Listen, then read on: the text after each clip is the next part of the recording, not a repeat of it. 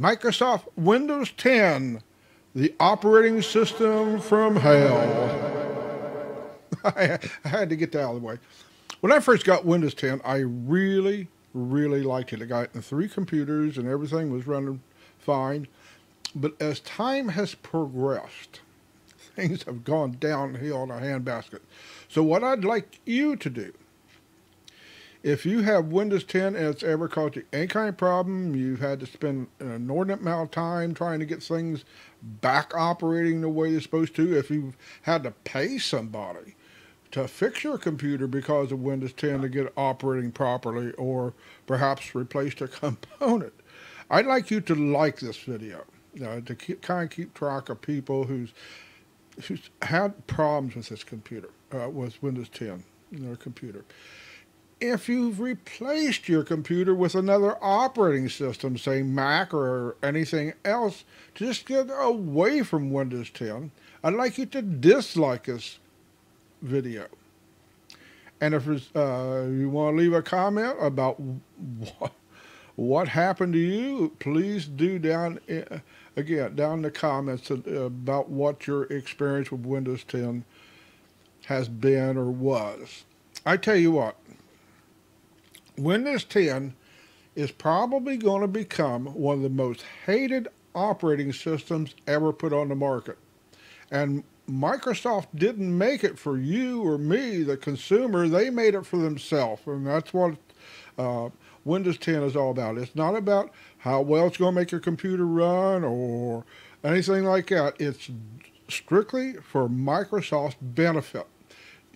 I don't know if I'm going to get up and reboot my computer the next day and if it's going to operate properly. It's just no consistency to, consistency to it. It it just you just don't know if your again if your computer is going to operate the way it did the day before. You just cannot depend on Windows 10 inside your computer. And a lot of people have had their computers, again, not working but when they uh, booted up, uh, blue screens or black screens or something like that. So computers have been absolutely bricked under Windows 10.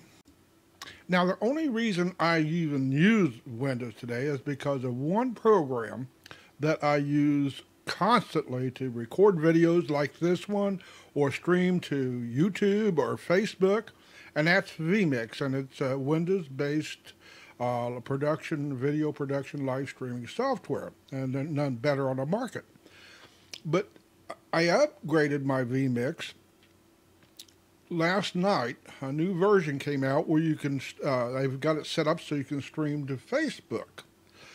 And so I was testing it and, and recording some videos, and I went back to try and play them.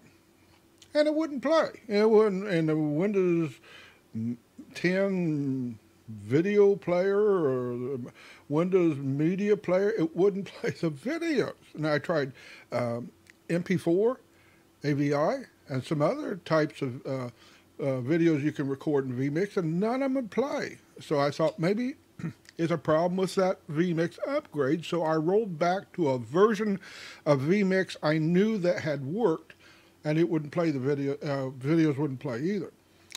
And so I reinstalled the newest version, and then I finally tried to play the video in Google Chrome, and it played. And I did a happy dance. I'm telling you what, anything that works outside of Windows 10 for me to do what I need to do uh, is fine. And but it worked in. Uh, they played everything played fine in Google Chrome. So then I tried the the Windows uh, video player uh, app and uh, media player, and the videos played fine in them then. So this morning I got up and I tried to uh, play the, the, videos again in the Windows Media uh, video players and it, they wouldn't work again. So I played them in Google Chrome and they worked after the, the Windows video players worked after that. So I'm telling you what, again, if if I had a choice, if I could afford it today, I'd buy a Mac and set it right here. And every time I got on that computer, I would uh, point out how awful terrible Windows 10 is. Because again, you don't know if you're going to get up the next day and your computer is going to do what you needed to do with Windows 10. It's just that unreliable. So again, what I'd like you to do, if you ever had a problem with Windows 10 where it didn't work the way it worked the day before, like this video. If you bought a, Mac or another operating system just to get the hell away from Windows 10, excuse my language, then dislike this video and leave some comments down below. But I'm telling you, again, down the road, Windows 10 is going to probably be the most hated operating system ever put on the market. It's just something you cannot depend on. That's all I got.